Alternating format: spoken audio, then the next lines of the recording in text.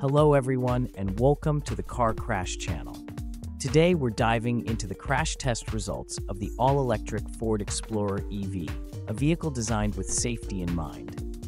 In the frontal offset test, the Explorer's passenger compartment remained stable, offering solid protection. Both the driver and front passenger were well protected in all critical areas except for the driver's lower leg, which was rated as adequate. Next, let's look at the full-width rigid barrier test.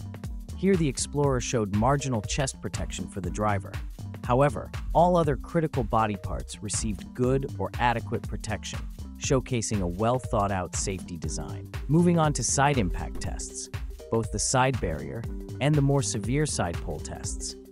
The Explorer really shined.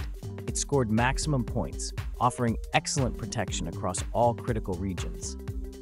One area where the Explorer stands out is its control of excursion, how much a body is thrown to the other side during a far side impact.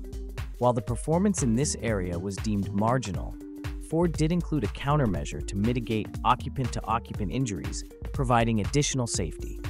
The system worked well, protecting both the driver and front passenger heads during impact. Ford's safety technology doesn't stop there. The Explorer is equipped with an advanced e-call system that automatically contacts emergency services after a crash. It also includes a system to prevent secondary impacts, which reduces the risk of further collisions after the initial crash. And in extreme situations, like submergence, Ford demonstrated that both doors and windows could be opened, allowing occupants to escape safely. So overall, the Ford Explorer EV offers a robust array of safety features, ensuring that it's prepared for a variety of crash scenarios. Stay tuned to our channel for more updates on the latest crash test results and let us know your thoughts on our video in the comments below.